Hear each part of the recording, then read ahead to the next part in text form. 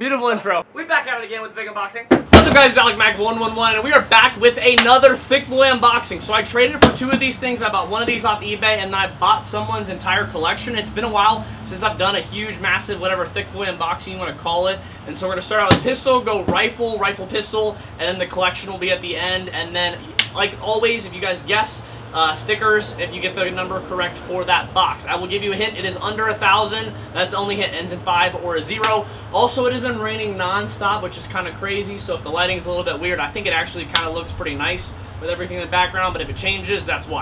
So first up, we have a Crownland pistol. I have never heard of this before. It's OEM by Classic Army. Um, dual power, KL, Hi-Capa, whatever. It is a Hi-Capa frame. I traded, um, I did like a partial trade for this for the KWA TK45 Ronin that I had, so I got some cash. And then this pistol as well, and it looks pretty cool. Um, the lower is polymer like most Hi-Capas kind of are. Upper, I believe, is metal. Actually, I think this might be polymer as well. Um, really cool burnt bronze barrel. I actually really like that. And then it's got some nice fiber optic sights. Actually really like that green front fiber optic. And then looks like it's kind of yellow greenish back. It's a little bit different. Um, and then it has just a normal Hi-Capa mag. I actually like the flared with magwell on this. I think it's pretty cool. And some sort of nice pattern on the grip, but it's a cool little gun. All right, up next for number two, I bought this off of a dude on eBay. I bought this as a collection, uh, or kind of like a collection. I think somebody was getting out of the sport, and so they were selling it. This gun is actually really, really nice. So I have not seen it yet. I do not know exactly which one it is. Oh, okay, so we got a suppressor of some sort. A nice little, looks like it's a suppressor with flash hider. And then we got some mags over here. So two Lonex flash mags, three, four? Wow, four. So two of them are in like a lighter gray and two of them are black. I didn't actually know that Lonex made different color flash mags. Sure Shot Midget loves these. We also got three LiPo batteries. These are the Valken 7.4s 250s. And then we got two mid-cap hex mags, uh, some sort of P-mag. This actually looks like one of the KWA EPM mags. Yeah, it is. So I remember for those of you that watched like two collections ago, I got like 10 of those. And then gun up next. And finally, a Mag brand mid cap, but here is the gun. Did a good job packaging this, which is nice. And here she is. This is an Elite Force 4 CRS body. Looks like it's got a Pro-Win hop-up in it as well. I bid on this one. This was like a bid listing on eBay, I think. Magpul MOE stock. It does have the FCU back there. Wire harness looks like it's in good shape. This is a jack engine, I believe. Yeah, it's a jack. And then it's got some sort of nice uh, key mod rail system. I'm actually not sure what suppressor this is, but I really like that. Fake PEQ up front, and then a shattered sight mark. He said that it did get shattered when he was playing Airsoft, so that's a little bit unfortunate, but it is what it is. And then the PTS like Repro grip here as well. Nice little gun. The 4 CRSs are actually, I remember when Jet was using the 4 CRSs for a while, he like, when Elite Force kind of came out, this was like their first really workhorse gun, I think, that they came out with like M4 full metal and stuff, and Jet used it for like a year. I think they were on some sort of contract, but it was a nice gun. He always liked it, and it looks like a pretty solid setup. I don't know if I've, I think I've owned one of these before, but never in a Polar Star configuration. So, good first box. USPS had to go and put the label over his message.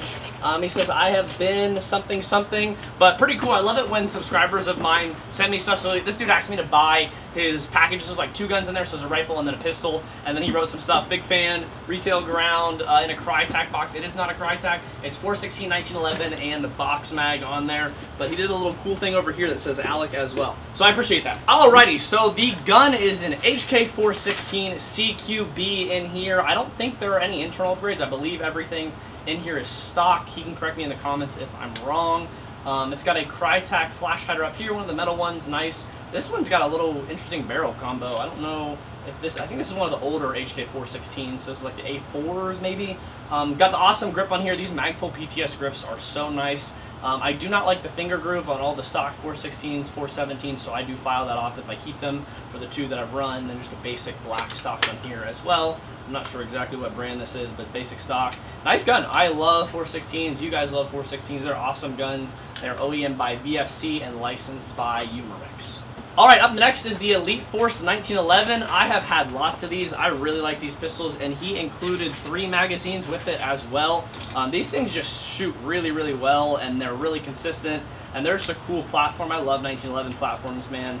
Um, definitely want to own a real one eventually. I went with the Glock first, but eventually, hopefully, we'll get one. Not exactly sure brand-wise, but these are awesome starter pistols. I'd either recommend, I'd probably, if you want to go like a Hi-Capa build, definitely go high cap or like a high-end pistol. But for starter pistols, if you want a cheaper option, these are so good. They're CO2, so they kick pretty well. Um, they shoot and they work in all weather, unlike some of the green gas stuff in the Midwest. I'm talking to you. Um, those of you that understand my pain with anything gas in the Midwest. Nice white dots. This is like the black version. I've had a gray, I've had a tan. I think I've had all the versions of the tack one except for this black one.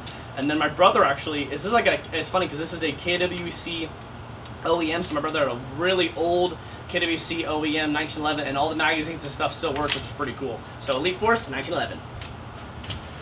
And last in the box is a box mag. I'm not exactly sure what brand he said this one works with, um, but it's pretty cool, and that boy is thick. Oh, it's A&K, so this is an A&K box mag. Probably can run, I'd be interesting to run it on my saw and see if you could throw it in that side port, because I actually end up selling the bottom mag for that. But cool little box mag. Oh, there she is. Hello, beautiful. All right, I'm going to kind of angle this so it's not my way. Alright, so I got this from a dude named Kevin. He was uh, interested in my Polar Star, so I traded him one of my Polar Stars actually for this collection, and then also um, gave him some stuff on top. I gave him basically an entire Polar Star Fusion Engine build, and so I got this collection from him as well, so I'm just valuing it at what I sold that Polar Star for. Oh my gosh. Uh, he read me a little note. He says, thank you, including this bag all the documents, manuals, yada yada yada. Um, I love the channel. Keep up the great work. Oh, thanks, Kevin. I appreciate it. Love it when you guys kind of customize things. I think this is dope. Alrighty, gun number one is a CYMA. I think some people pronounce it CYMA. I've pronounced it CYMA since I was like 12 and got my first CYMA M14, so that's kind of how I'm going to do it. And this is the, oh, I actually think I've had one of these before. Yeah, I've had one of these before. So this is the AR-47. So it's like an AK and an M4 kind of configuration. It's a polymer build. These are actually really cool. I love these. Um, they do feel a little bit cheap on the external side, but they're actually really good internal. And then they have some solid, I mean, like, look at this gun. That's a really cool little suppressor there. Got your iron sights, and then you got a mag, basic mag, normal AK stuff, and then you got your M4 grip. The people that are AK purists hate these guns. The people that love M4s also hate these guns. I like both, so I think it's a cool little gun. Alright, up next we have a Crye Battle Belt. This is a large, this is a Crye Precision Z-Shot Repro. These are actually pretty nice. I had uh, green one for a little bit, a Ranger green one that I used for a TAD, and I'm actually building a real belt setup. I have not figured out exactly what I want, however, I am looking at a lot of different options because I want to build a war belt. Dang, this is taking it back to the old days. I believe this is a spring FAMAS of some sort. Yeah, this boy's spring. Oh, yeah. Let's go. This is like the OG 13, 14, 15-year-old backyard games. I had a spring Kalashnikov AK-47. Some of the dudes had these. They are not very high quality for those of you that know, but they are really fun to play with. Alrighty, man, we really are taking a trip down memory lane. This is an AK-74 style. This thing is... I think this is a Springer as well. This thing is might be the crustiest airsoft AK-47 that I've ever seen in my life. I'm guessing that gun was probably in his shed from 1965 and he just decided to bring it out. Alright, up next we have his BDU, so looks like he was running MultiCam. These are the 511. These are actually pretty nice quality-wise. 511 is an awesome brand, um, and they produce pretty high-quality stuff, and I think there's some knee pad inserts for these as well.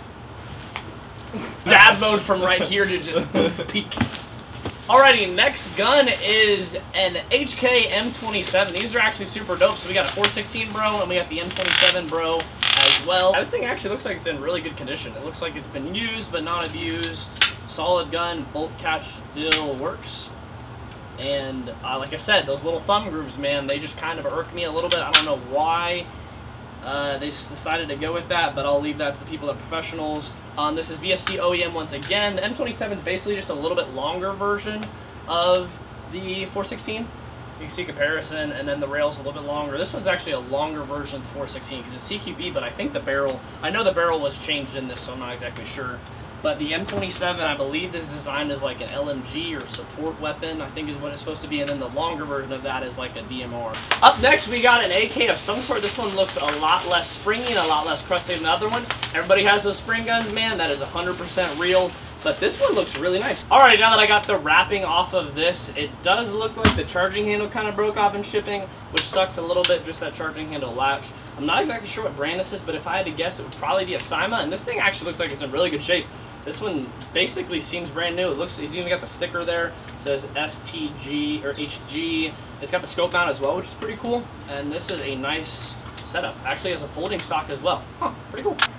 Up next, we have a, an Elite Force SL4 speed loader. This is like the craftier version of the Odins. I think these came out a little bit before. And they're pretty cool, but it's a little bit awkward to kind of have to carry something around this big to load your magazines. Up next, we have, I believe, a Condor chest rig of some sort. Condor is actually making some really nice strides and making some higher quality gear. Um, this is just a tan of some sort. I'm actually not seeing a branding at all, but it's a nice little tan chest rig. Everybody needs a chest rig in their life. Chest rig number two is a Condor. This one actually says Condor, so maybe this one's like an NC Star or a Vism or something like that. Oh, this is 511. So we got a 511 chest rig. I was wondering, this felt really good. I, Condor stuff feels solid, but you can tell like a 511 chest rig feels way better than a Condor chest rig. But this is probably twice, if not three times as much as a Condor chest rig. Both good setups though, really nice. Up next, we have some magazines. It looks like these are all AK boys of some sort. So these are six AK mids.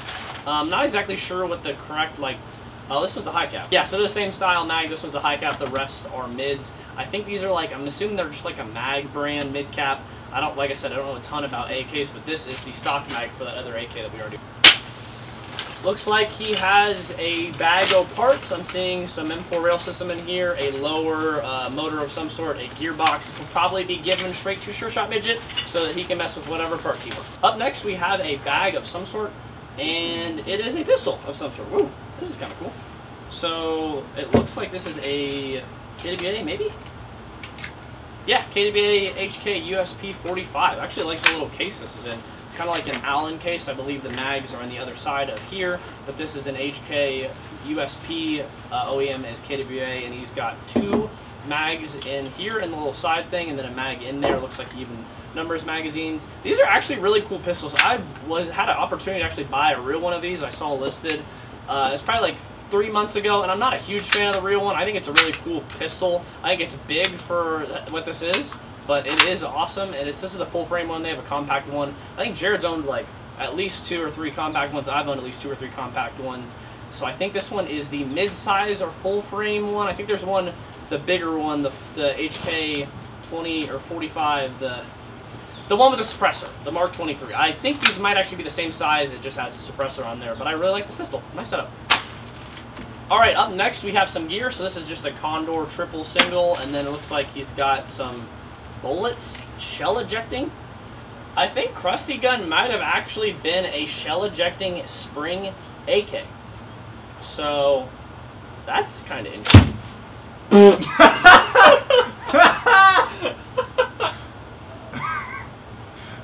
it just keeps falling apart.